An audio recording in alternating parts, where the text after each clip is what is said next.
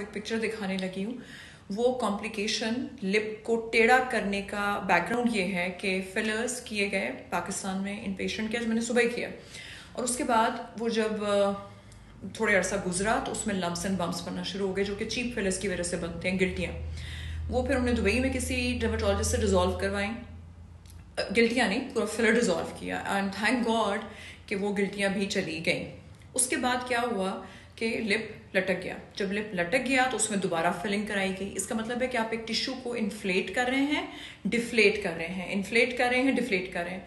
तो टिश्यू की स्ट्रेंथ या इलास्टिसिटी खत्म हो जाती है बिकॉज़ उसका एक अंदर अपने भी एक कोई ना कोई मटीरियल है जो नेचुरल है। हाइलोरॉनिक एसिड है कॉलोजन फाइबर्स हैं लेसन फाइबर्स हैं। इसका मतलब आप उनको डैमेज कर रहे हैं। इवेंचुअली वो चीज़ लटक जाती है जो कि उनका लटक गया था। सो so, आज फिर मैंने जो किया वो ये कि जो उनकी चीज़ लटकी हुई थी ये कॉर्नर से नीचे थे उसको मैंने फिल किया और एक उनकी साइड ऑलरेडी बहुत लटक गई थी ऊपर वाला, ये वाला पोर्शन लिप का।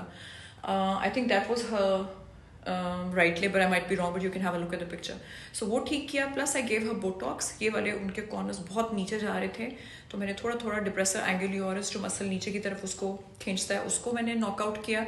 और जो बहुत साइड नीचे चली गई थी लिप की ये वाली उसमें बोटॉक्स दे के थोड़ा सा लिप लिप लिप फ्लिप किया जिसका रिज़ल्ट टू वीक्स के बाद आएगा। सो so, आज जो मैं आपको तस्वीर दिखाऊँगी वो वो कॉम्प्लिकेशन है जो बैड फिलस की वजह से पेश आती है।